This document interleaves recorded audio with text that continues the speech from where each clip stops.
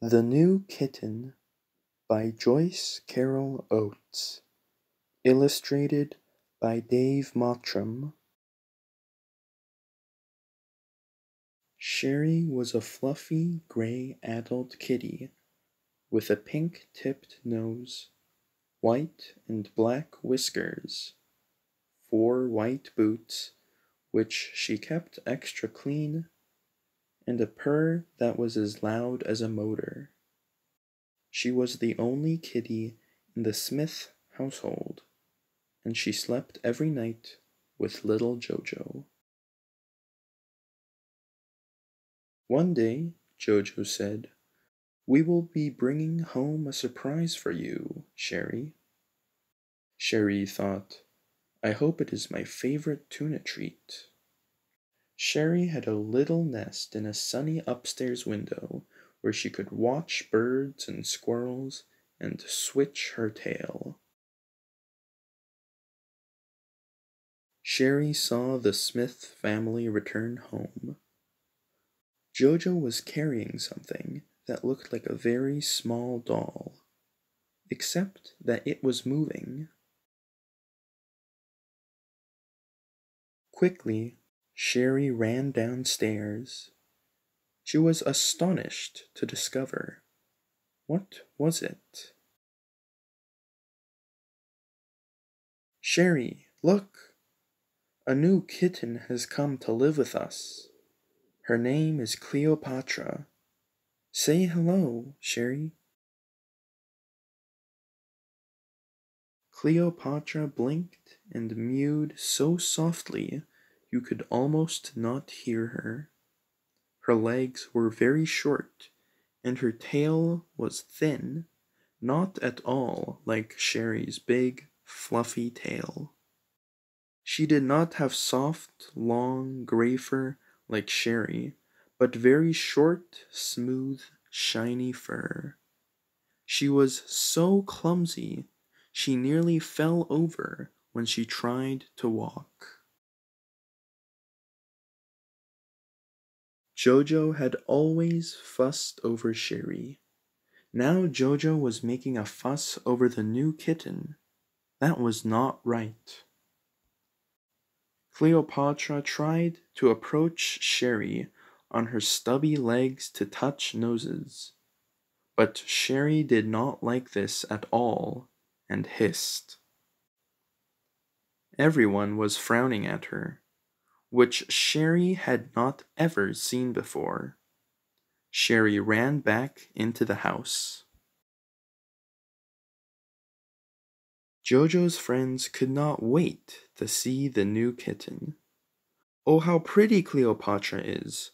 Look at those leopard spots! They laughed at how she chased a little purple ball and how she rolled over to show her spotted tummy. They laughed at how Cleopatra climbed up onto her cat tree, carrying a catnip mouse in her mouth. They used to say that I was pretty too, Cherie thought, but now they don't care about me. When Jojo called her for supper, Cherie no longer came running and purring. At bedtime, Jojo had to carry Cherie to her bed so that Cherie would sleep with her. In the middle of the night, Cherie crept out of the room. Cherie did not like the name Cleopatra at all. Cherie did not like spots on a tummy. Cherie did not like the cat tree because it had not been purchased for her. Especially, Cherie did not like how the new kitten put her paws in the water bowl to wash them. That was wrong. You washed your paws with your tongue. That was correct. She was shocked that the new kitten played with her dry food as if it were some kind of beetle she had to leap and pounce on. If I spilled my food, I would be scolded, Cherie thought. Her tail swished and switched. Though it was forbidden for Cherie to climb up onto the dining room table, this is exactly what Cleopatra did. From there, she swatted at a mobile with cutout birds and brought it crashing down. The Smiths only said, Cleopatra is a kitten and doesn't know better. Everybody loved the new kitten. Cherie could not understand. Next, Cleopatra discovered how much fun it was to unwind rolls of toilet paper in the bathroom until the paper was all over the floor, torn and ragged. Cherie hurried to find Mrs. Smith to bring her to see what Cleopatra had done. Mrs. Smith laughed and took a picture. Soon after, when no one was around, Cherie pulled the toilet paper out onto the floor. She tore and tore at it. But Mr. Smith saw her and was not happy. Cherie, bad cat, that is naughty.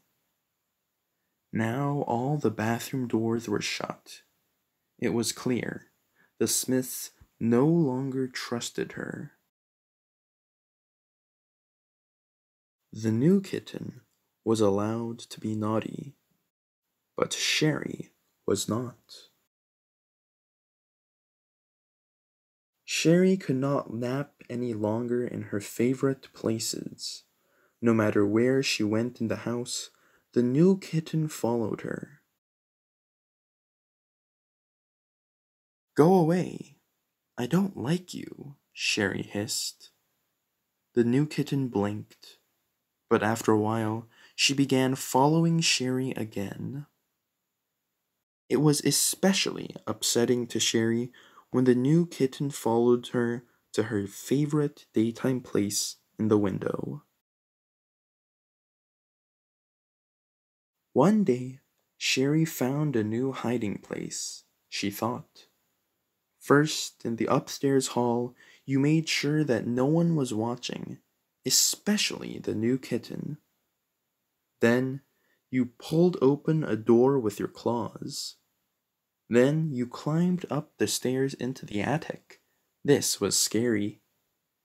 Cherie was happy because she believed the new kitten would never find her.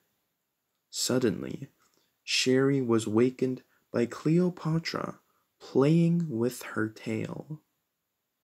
Cherie hissed and jumped down. But Cleopatra was too small to jump down. Cherie ran from the attic. She heard the new kitten mewing for help and thought, Good. Cherie thought, I will run away. They won't miss me. Cherie found a downstairs window that was open just enough for her to slip through. She squeezed through a fence and went into the woods. She was very excited. There was so much to see and to smell. A little white bunny rabbit hopped ahead of Cherie as if wanting to play. But when Cherie followed the bunny, she saw him go into the ground down a hole that was too small for her. That was not very friendly, Cherie thought. Next, little birds flew around her, cheeping. Cherie thought that they wanted to play, so she followed them deeper into the woods. But the little birds kept ahead of her, high in the trees. They began to chatter, Can't catch me, can't catch me. They are not very friendly, Cherie thought. Now there were blue jays overhead. They screeched at Cherie and buzzed her by flying at her. Go away, go away. We don't like you. Cherie ran to hide in a hole in a tree. She was very upset. Go away, bad cat. I don't like you. It was an owl, a big, snowy white owl that fluttered his wings and hoo hoo hooed at Cherie. Cherie ran and ran. But now she was beginning to worry that she could not find her way back home. Suddenly she saw two little foxes rushing at her. Hiss, hiss, hiss. We don't like you. Go away. Cherie did not understand why the foxes were so mean. Quickly, she climbed the tree to escape them. Cherie began to shiver, but there was a big moon in the sky, which helped her see the smith's house. It was not so far away. I wonder if they miss me, Cherie thought. She thought of her tuna treats. She would be very happy to share them with a new kitten. Cherie could hear a faint mewing. Was this Cleopatra? Cherie felt bad that she had left the new kitten on the rafter. She is just a kitten. And so, now that the unfriendly foxes had gone away, Cherie climbed down from the tree and made her way back home. Cherie hurried to the door and scratched and mewed. Why, Cherie, where have you been? Cherie hurried to help Cleopatra down from the rafter showing her how to place her paws. Cherie did not shrink away when Cleopatra touched noses with her to thank her. Supper time that evening was special, for Jojo gave both kitties tuna treats. Cleopatra did not push her nose into Cherie's bowl or try to play with her tail. Bedtime was even more special for both kitties slept with Jojo, who fell asleep listening to their purrs. The end.